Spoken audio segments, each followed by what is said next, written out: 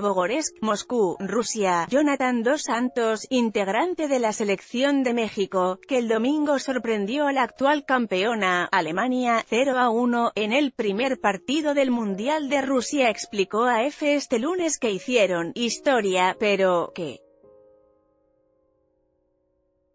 Aún queda mucho por hacer, hicimos historia, porque logramos algo que nunca había hecho la selección de México, que era ganarle a la campeona, contestó a y Jonathan este lunes en las instalaciones del Dinamo de Moscú, en Novogorsk.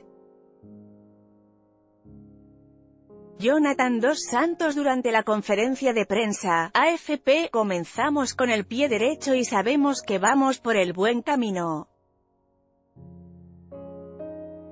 Pero todavía queda mucho por hacer, comentó Dos Santos en Novogorsk, donde también valoró el trabajo del seleccionador, el colombiano Juan Carlos Osorio, y festejó la oportunidad de poder compartir un mundial con México junto a su hermano, Giovanni. Todo el mundo está feliz, porque pase lo que pase, sabemos que quien juegue lo va a hacer bien.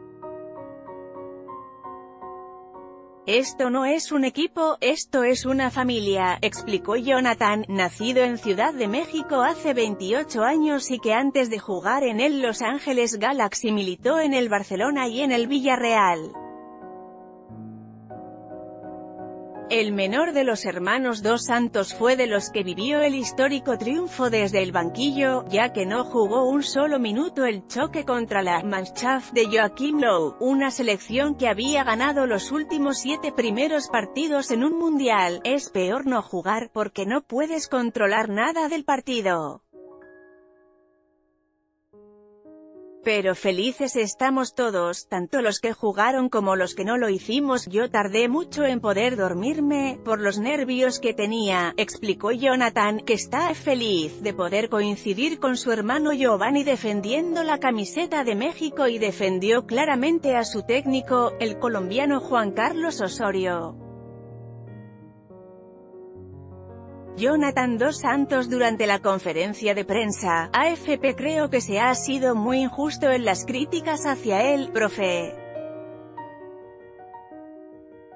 Se ha demostrado en todo el proceso, con las mínimas derrotas, que cada planteamiento que ha hecho, lo ha hecho por algo, afirmó, él sabe mucho de fútbol, sabe siempre lo que hace y por qué lo hace, sabe por qué pone a cada jugador en el que lo pone, explicó Jonathan este lunes antes del entrenamiento regenerativo de México, en Novogorsk, creo que las críticas han sido, como se dice, solo por chingar. Creo que el profe, lo demostró. Lo único malo es que ahora hay gente que se quiere subir al camión, precisó Jonathan Dos Santos este lunes en las instalaciones del Dinamo de Moscú.